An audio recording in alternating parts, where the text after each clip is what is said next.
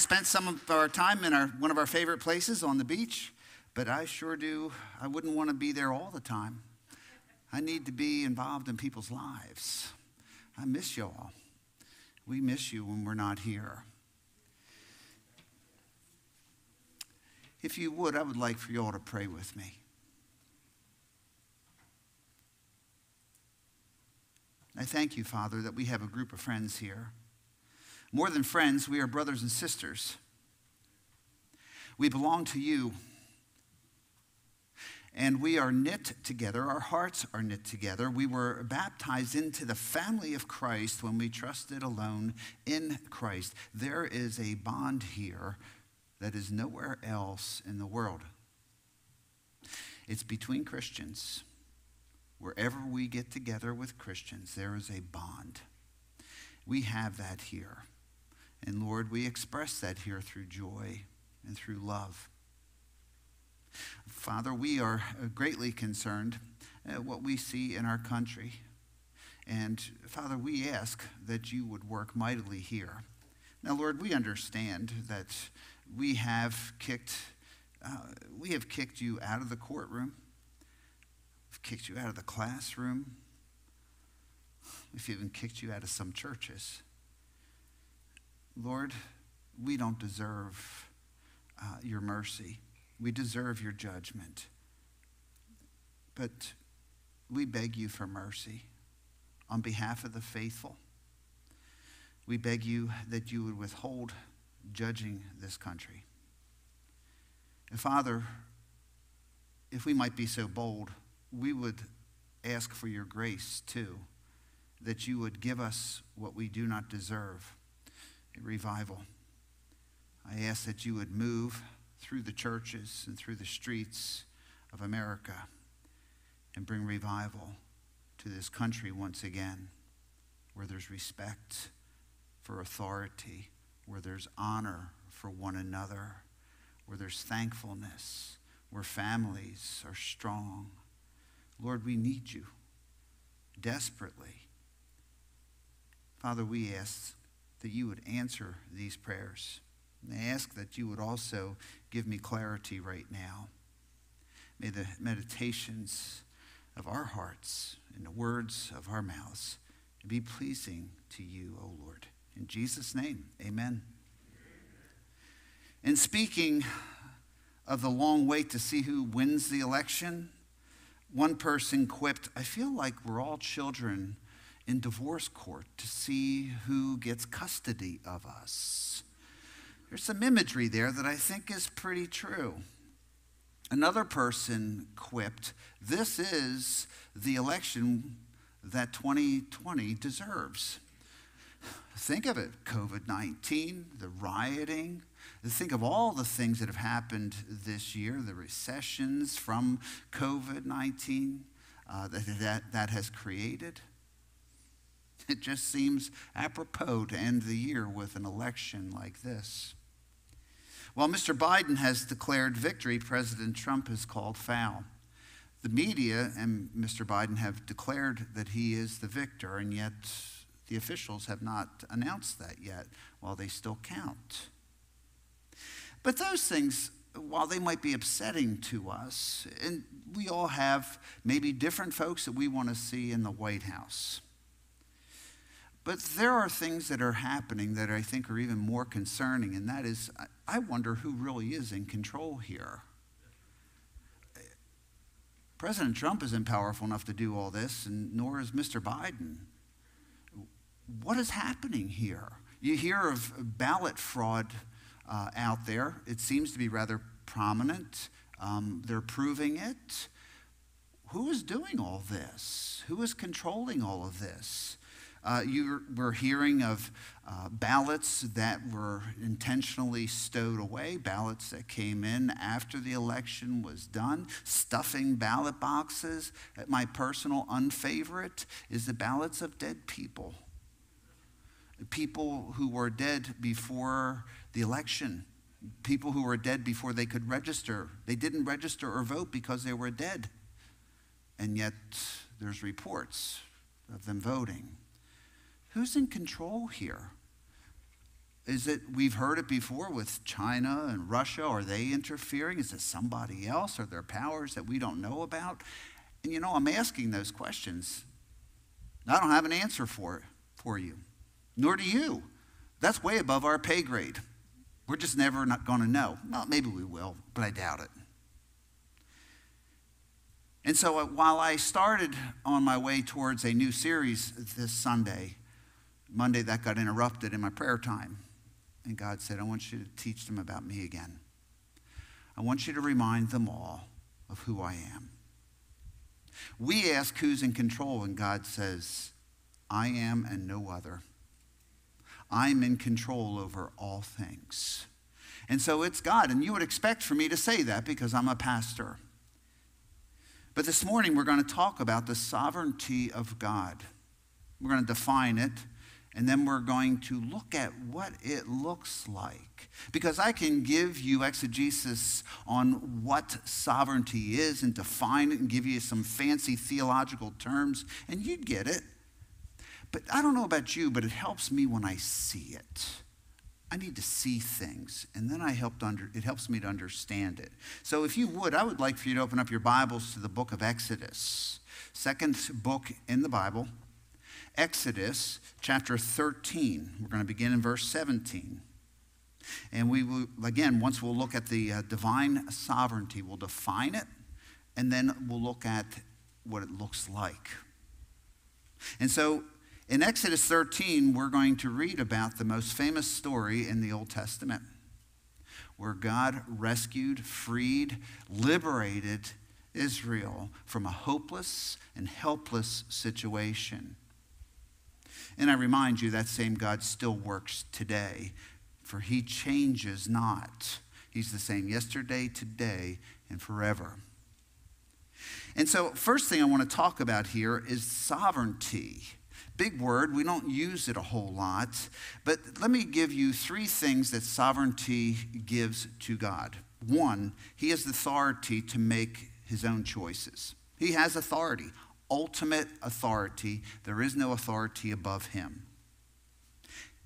But not only the authority, he has the power to carry it out. He's omnipotent, he has all power. So nothing can stand in his way. What he has uh, the, what he deems necessary, he can do. And then the third thing is he has the freedom to do whatever he wishes. And so when we talk about sovereignty in basic terms, God has the authority, the power to do whatever he wants, and the freedom to carry it out. Let me give you what one man, the most powerful man on earth, said about God's sovereignty. And I quote All the peoples of the earth are regarded as nothing. He does as he pleases with the powers of heaven and the peoples of the earth. No one can hold back his hand or say to him, What have you done? That is recorded in Daniel 4:35 and it was quoted by Nebuchadnezzar the most powerful man on earth at that time and so we've said this in the past, and I remind you again if we wanted just a kind of short and sassy definition of God's sovereignty, He is large and in charge. Large and in charge. I don't know about you, but I can remember that. Got it in my notes anyway, but I figured I'd. Now, fortunately for us, God does not express His sovereignty ultimately in judgment which is for his prerogative to do that. He demonstrates it in salvation. We wonder, why does God save some people? And the real question is, why does he save anyone at all? For we're all sinners, right? Listen to what Paul wrote. In him we were chosen having been predestined according to the plan of him who works out everything in conformity with the purpose of his will. If you have trusted alone in Christ alone, it was not just your decision. He chose you. And so when you reach heaven, Jesus isn't going to look at you and say, What in the world? How'd you get in here? Did you sneak in the back door? Do you ever feel like he might say that to you? I have. But you're chosen, you're wanted. And he makes us righteous. He declares us righteous now, and one day we'll be completely righteous when we reach heaven. And so God is sovereign. He can do whatever he wants. He is large and he is in charge. But what does that look like? How does it play out? And I think the best picture for this is in this story. Now, in this story, you understand that Pharaoh is king in Egypt. What you may or may not realize is that he was more than king. He was a despot, which means he could do anything he wanted to. But more than that, Pharaoh believed he was a god, and so did the people. And so he could do anything. Uh, think of his response when Moses first stood before him and Moses talked about Yahweh, the Lord. Here's, uh, here is Pharaoh's response Who is this Lord that I should obey him? Who is he? So I picture Pharaoh sitting there and going, Who's this guy? Who's this Lord? He was about to find out, wasn't he? He made a big mistake. What ensued was a battle. I picture uh, something like a 10 round boxing match where each plague presented one of Egypt's gods. And God, the Lord, the only true God, scored a knockout punch in every round. And when they got to the 10th round, the score was God 10, Pharaoh 0. You know that, right? God clearly demonstrated to Pharaoh, all of Egypt, and to Israel that he is large and in charge. One at a time, he had knocked out their belief in their gods because he's the God who controls all things. Well, finally, what happens is Pharaoh, while he's holding his dead son in his arms, says, Okay, let him go he finally succumbs to Moses' command given through God to let my people go. And they head on their way out. That brings us to chapter 13, verse 17. Read with me, if you will. Now, when Pharaoh had let the people go, God did not lead them by the way of the land of the Philistines, even though it was near. For God said the people might change their minds when they see war and return to Egypt. You, you, you know, it's frustrating when God leads us around the long way. Have there been things in your life where you've been waiting on God to do something? It's something you're convinced He wants to do. Maybe it's somebody you've been praying for to come to Christ. You know that's His will. And maybe it's a healing that you have told God, you heal me, and I'll do this for you because I want to serve you. Maybe it's a job. And maybe it's one of your kids and they're waiting for a spouse and they've been waiting. And you know that's right for them. But God seems to take the long way around. And that's what he's doing here. He knows what we're ready for when we're ready for it. Look at verse 18. This is important. Hence, God led the people around by the way of the wilderness to the Red Sea, and the sons of Israel went up in martial array from the land of Egypt. Don't miss that. God is leading them, and He is leading them into a huge problem. God is leading them into a trap. He's leading them into a cul de sac. And you all know what a cul de sac is.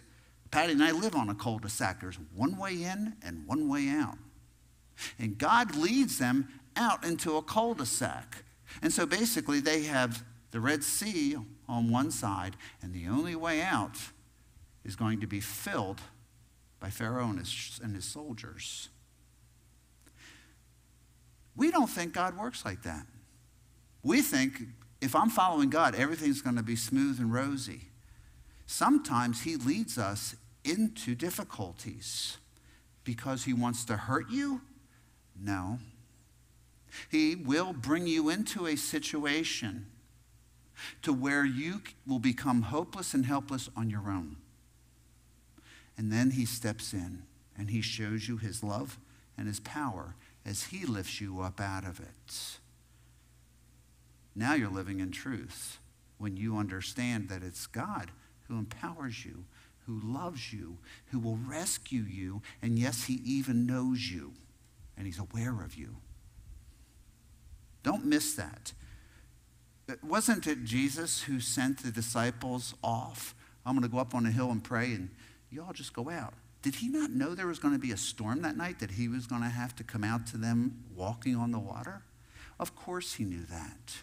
He int- intentionally sent them out. And then he came out walking on the storm of their life. Brothers and sisters, he'll do that for you. Don't forget that because that's who he is. You see, I am reminded that the God that we have may be wrapping even our country into a conundrum right now and putting us up against the wall to where we just don't see a way out. Now, I don't know this, and I'm not saying I do know this, but I am saying that I know my God can do anything. Because he is the God who continually takes the difficult and does the impossible with it. Isn't that great? We can muddle around in a normal world, but if you want a miracle, you're going to have to call up on God. And so he is the God who continually takes the difficult and does the impossible with it because that's who he is. And so God is going to lead them right into a conundrum, into a cul de sac, into a problem, into a place where they will be in between a rock and a hard place, cornered, up a tree, up the creek without a paddle. But he's leading them the long way, which reminds me that many times in life we want to get to a certain point, and God is saying, Don't you understand? It's more about the journey than it is the destination. It's the things you learn along the journey. We're always in such a rush to get every place. And especially as we were kids, you know, when you're 10, your biggest wish was to be 12 or 13 or 14, like the older kids. It's about the journey, still about the journey. Look at verse or chapter 14, verse 1. Oh, one more thing here. Look at verse 22. No, 21. 13 chapter 13, verse 21. The Lord was going before them in a pillar of cloud by day to lead them on the way, and in a pillar of fire by night to give them light. They might travel by day and by night. God is providing the direction. And with God's direction comes protection. The cloud by day would protect them from the hot sun. The fire by night gave them light but it also gave them heat.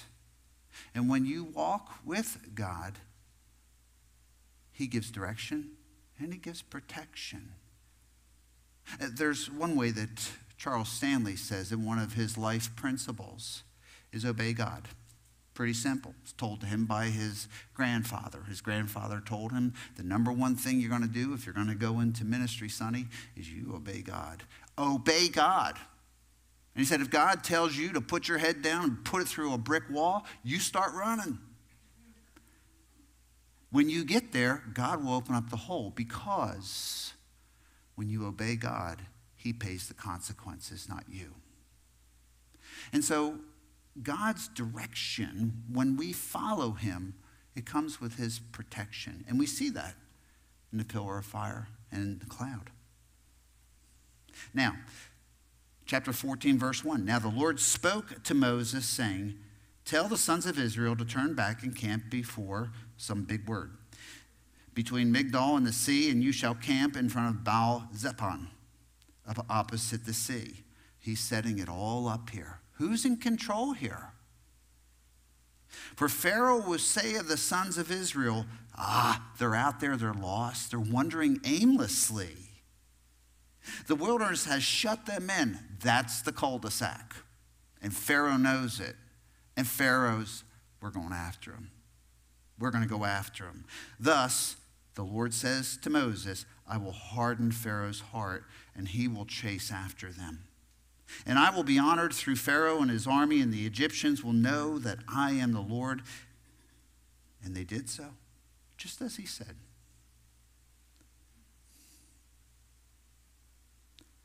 I want you to remember here they are in the center of God's will. We tend to think if you're in the center of God's will, nothing bad's going to happen, but it will.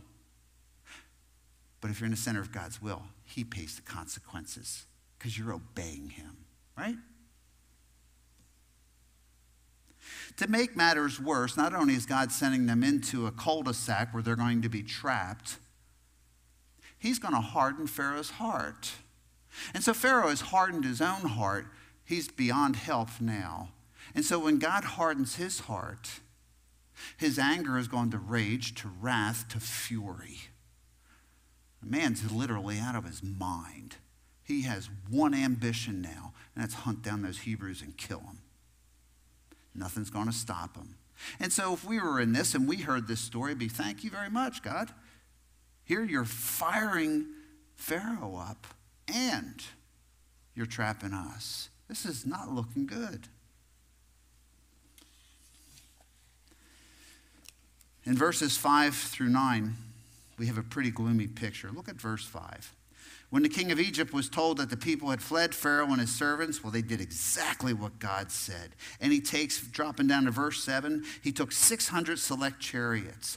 We are talking about the most powerful man on earth is Pharaoh, and the superpower of the world is Egypt. And the premier army of the world is the Egyptian army. And you have a bunch of slaves out there trying to get away with sticks, right? They are no match for them no match at all. It would be almost like bringing down the wrath of the federal government here and the armies on Florida. What chance would we stand against the Army, the Navy, and all the armed forces? It's the same situation. So, Pharaoh is the most powerful man. God has hardened his heart. Have you ever seen someone lose it? Somebody gets so mad they say things they shouldn't be saying. They make accusations they shouldn't say. They say things they know are wrong. And they do things that are very destructive to them and to others around them. That's where Pharaoh is now.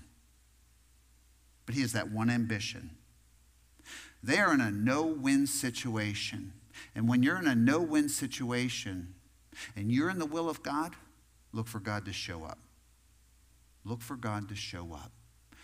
You must be in his will, though. Because he's going to show you who he is in a whole new way. Because he wants to, he wants to be known. Drop down to verse 10. The camera shifts in this story. And now it shifts to the Israelites as they're trekking out. They don't know that they're lost. But they look off and what do they see? This huge dust cloud. What is that dust cloud? Pharaoh and his army, and they're coming after him. Look at verse 10. As Pharaoh drew near, the sons of Israel looked, and behold, the Egyptians were marching after them. And of course, they were great spiritual people, and so they didn't get worried at all. They just said, Well, God's got this. I'm okay with that. It's cool. Doesn't say that, does it? Doesn't say that at all. They became very frightened. They're scared to death because they're going to die. They know where they are. So now they have a choice. You can drown or you can be slaughtered. Which one would you like? And so what do they do? They cry out to God. Oh Lord our God, we know that you are most powerful and you can do anything you want. That's not crying out to God, that's praying. They cried out to God. Probably it was a one word prayer Help! Help! Right? Don't we do that when we get in the middle of something? Then Moses stands up.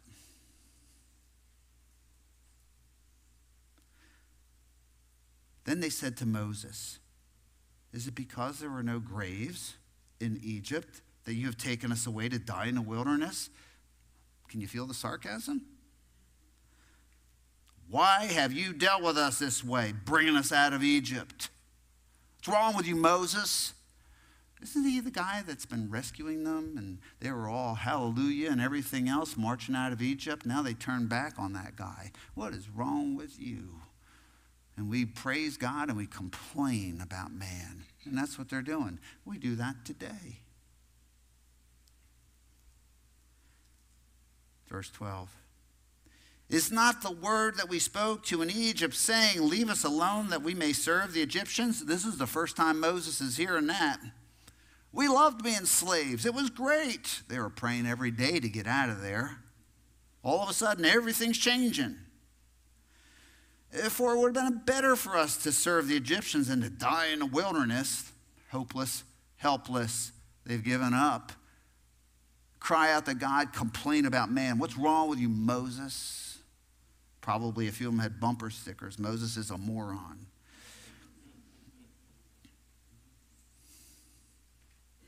They're terrified. But you know what? The very person they're blaming is the only person that has a godly perspective. He's the only one. When we're in a jam and something that we don't understand, we need someone in our lives that understands how God works someone who can see your situation through a godly perspective, someone who demonstrates wisdom and discernment and walks with God. If not, we're only pooling ignorance. You need someone that can see life from God's perspective. You'll find it refreshing. Moses was in touch with God. Look at verse 15.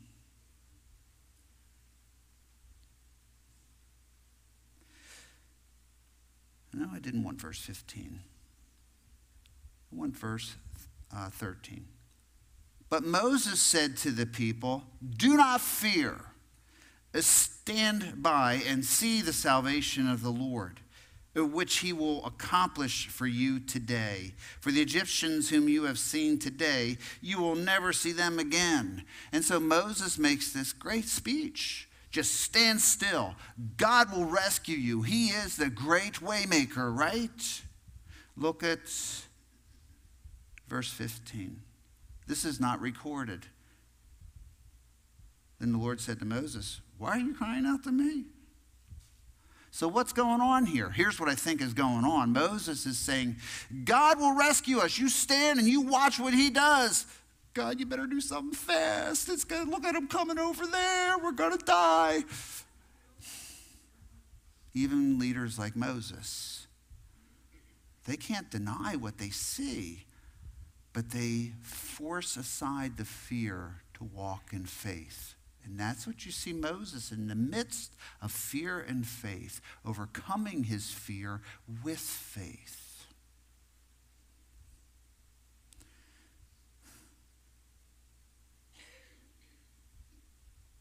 Verse 15 And the Lord said to Moses, Why are you crying out to me? Tell the sons of Israel to go forward. As for you, lift up your staff and stretch out your hand over the sea and divide it, and the sons of Israel shall go through the midst of the sea on dry land. Now, there's two miracles here. I want you to realize that one is parting the sea, but the other is dry land. I think when we ask God for uh, for miracles, he's complete. He didn't even let him get muddy. He gave him dry ground to walk on. Didn't have to get stuck in the mud. He gave him dry ground to make that crossing easy. Because when God makes a way, he makes a way. I don't want you to miss this. Faith is God's economy. You want to please God, it's going to take faith. Hebrews 11:6 says without faith it is impossible to please God. What is faith? Hebrews 11:1. Now faith is being sure of what we hope for and certain of what we do not see. We get confused. And if you hear nothing else in this message, hear these things. Faith is not found in your feelings. You can feel you have all the faith in the world, but you ain't moving. You're afraid to move. You're afraid to do what God has asked you to do. Faith is not the absence of fear. You can have faith and be very fearful, but faith overcomes that fear. You see, because faith frequently operates in the presence of fear. So don't beat yourself. If you're in a situation where you're afraid and you're, you're struggling to have faith, don't beat yourself. We're all there at different times. And remember this faith is found, not in your feelings, faith is found in your feet. Faith is found in your feet. Get moving. That's what God tells them to do. Get moving. You see, the truth is, we are waiting on God for something, and God's waiting on you. When God sees your faith, when God sees my faith, we see God. That's when He shows up. That's where I wanted you. You are acting in faith. You are honoring, honoring me with your faith. Now I'm going to step in. And that's what happens with Moses. Y'all got to get walking. That's faith. Moses, to have to raise up that stick and part the sea. How many of you have sticks that part the sea? Anybody here? I'd like to talk to you about that. We can't even part our hair with a stick, right? You see, it's faith. And so God said, You need to go out there and do that first. And when God saw faith, they saw God. When God saw faith, he acted, and the miracle happened. You see, it's true. God guides a moving target, not a sitting target. We all know people that say, well, let's pray about it, let's pray about it, let's pray about it. That's great. But there reaches a point where that just, let's just pray about it, becomes spiritual talk. God requires faith, He requires action. And when He says sit, you sit. And when He says move, you move. This is how He works. And some of us don't see those miracles because we're not willing to trust God enough. All of us. I want you to realize there's almost 2 million people in Moses' party. This is no small amount of people. And God parts the water. So, how far apart was it? Was it like this little narrow alley that they had to go through? They never would have gotten through that in a night. The scholars estimate that that path was probably somewhere between a half a mile wide and a mile wide for them to get across. This is no small miracle. God is delivering them in big style, and He dried the ground for them. So, just who's in charge here? Who's calling the shots? Pharaoh thinks he's calling the shots. Moses knows he's not calling the shots. Some of the people think Moses is calling the shots, but they're going to learn it's God. And the same God today is calling the shots for your life, for mine, for this country, in all areas. He's large and in charge. Don't forget that. This is one of my favorite parts of this. Uh, go down to verse 19. God tells them to move across, and what does he do? When he sees their faith, he parts the water, and then what does he do? Well, you got Pharaoh coming on chariots and horses. They're coming a whole lot faster than these people are walking. Somebody needs to get on this, right? So, what does God do? He moves to be their rear guard, and he goes behind them. The angel of God, verse 19, who had been going before the camp of Israel, moved and went behind them, and the pillar of cloud moved from before them and stood behind them. And you're thinking, hmm, it's a big deal. So, verse 20, it came between the camp of Egypt and the camp of Israel, and there was a cloud along with the darkness.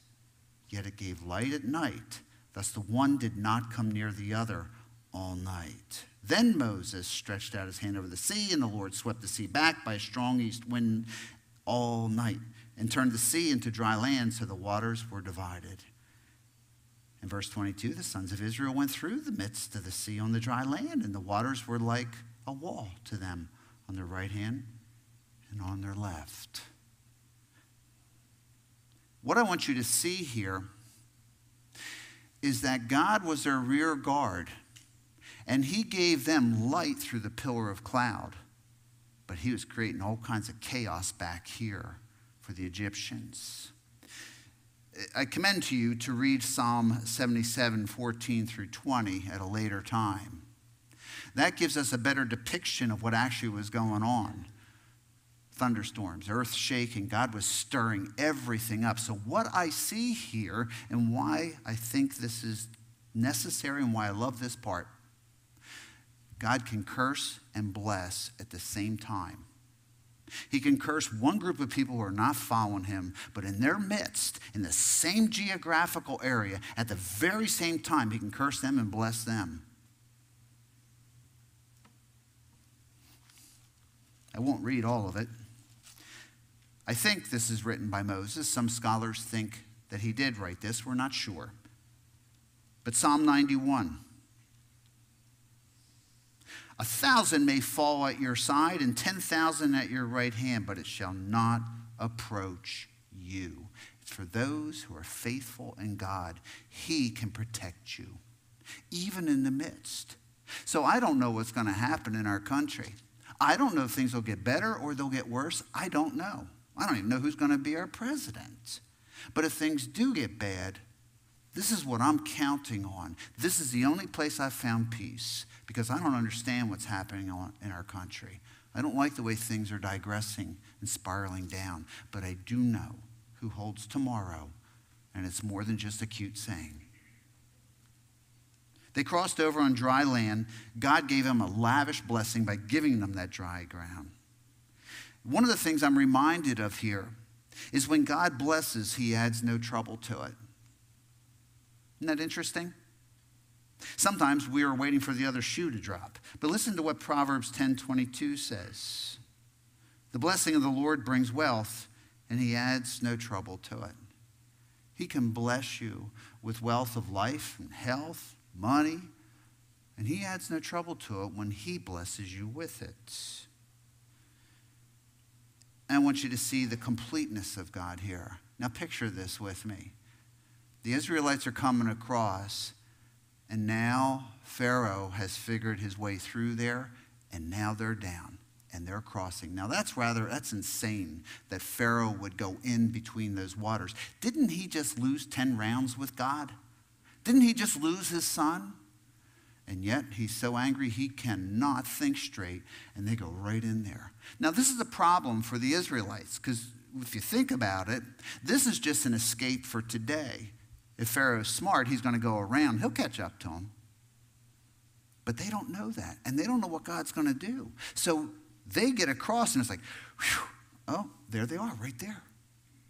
And I picture it this way I don't know if this is accurate or not, but they can see the whites of their eyes as they're coming across. And there's the Israelites all on the shoreline saying, So we're going to die here today. And just at that point, God says, Moses, raise that staff again and there was a huge burial at sea. All of Pharaoh's men died that day. All of them. Not one lived. That's what the Bible says. God is complete when he blesses. They were not going to have any more trouble from them. Dead men don't give them any trouble. And if they had any doubts, they were seeing the bodies washing up on the shore. God killed them all. You see, it's God's glory. God is in control. The God who parted the Red Sea can make a way for you and me. Do you understand that? I want you to come away with that today. These are not just fun little stories that we look to. Jesus did not promise to make your life easy. Listen to his words. I leave, peace I leave with you, my peace I give you. I do not give to you as the world gives. Do not let your hearts be troubled and do not be afraid. On that same night, his last night on earth, before the cross, he said, I have told you these things so that in me you have peace. In this world you will have trouble. But take heart, I have overcome the world. But if you've not come to a point in your life where you've trusted Christ, this means nothing to you. Because he's not going to rescue you, probably, because you're not his. And He's not made these promises to you. And so, if you have not, today would be a wonderful day for you to go to God. It's a simple prayer but it's a change of heart that makes the difference. It's going to God and saying, God, I recognize that you say we're all sinners. We've all done wrong. We're all dysfunctional. We've all made mistakes. God calls that a sin. He calls it missing the mark. We tend to add a lot of baggage on that in churches. Oh, they're such a sinner. Sin just means you missed the mark. What was the mark? Perfection. Huh, well, we're all there. That's why the Bible says, for all have sinned. All have sinned. Everybody sinned and fall short of the glory of God. So, what did God do? The plan all along before he formed the earth was to send Jesus. And he sent Jesus to rescue us. Jesus did more than part the sea in this one. He parted heaven and earth, and he made a way. He made a path for you straight to heaven. If you will only trust in Christ as the only way to heaven, that's God's path that he parted for you. And so he parted all space, all time, with a pathway to heaven. And that prayer is pretty simple. It's going to God and saying, God, I confess to you, I admit, i have done wrong, a lot of wrong. But I understand today that Jesus died for me. I don't get it all, but I understand that Jesus died for me. Right now, I'm trusting in Jesus as the only way to heaven. God, will you save me? And He will. He'll give you eternal life. And these promises apply to you because you've become a child of God. You've moved from a creation of God, God's word, not mine, to a child of God. Trust in Christ. But also remember that regardless who wins, God does not rule from the Oval Office, right? And our Savior does not ride on Air Force One. He rules above the heavens and the earth. He rules over all men. And he can do whatever he wants. And so I'd like for you to take this away with you today. It's a pretty simple message. You can write it down, it's not too many words. If God can part the Red Sea, he can make a way for you and me. Walk in faith and see. If I were to summarize this story down to an application for today, it would be that if God can part the Red Sea, he can make a way for you and me. Walk in faith and see. What are you facing? What's troubling you today? Take it to him. Trust him that he hears you, that he cares for you. Understand that he may have allowed something to come into your life because he wants to show you what he can do with it because he's the God who continually takes the difficult and then does the impossible. And when he does that in your life, your faith will skyrocket because you've seen something you've never seen before. And what will happen when that happens? You will look back to that. Patty and I have at least two instances in our lives where we were hopeless and helpless. And we look back to those very frequently and we say, if God did that, he can do this. If he did that, I know he can rescue us from this. And we go back there a lot. I would like for you to think about where has God rescued you? Once again, if God can part the Red Sea, he can make a way for you and me. Walk in faith and see. Let's pray. Thank you, Lord, for your goodness to us and your love.